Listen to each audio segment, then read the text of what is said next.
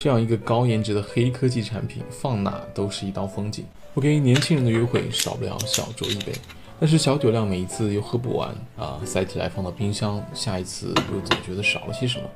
抱着试试看的态度，我就入了桑图斯慢品红酒机。高颜值还有科技感的东西，我实在是抗拒不了。类似于红酒盒的外包装，看起来非常的有仪式感。塞入除氧滤芯，放入红酒上盖，把红酒放入机器。这个时候呢，我只想安安静静看着它缓缓升上去，真的超级有仪式感。接着呢，你就可以开启你的无线畅饮模式，七颗 LED 灯珠有效的提示你它可以保存多久。顶部呢也可以及时查看所有设备工作状态。创新氧气吸附技术，我再也不用担心我的红酒变味了。两周的高效保鲜妥妥够用。另外呢，你还可以连接小程序去调节它的保鲜温度，随时随地清凉畅饮。好了，这个夏天我少不了要微醺一下了。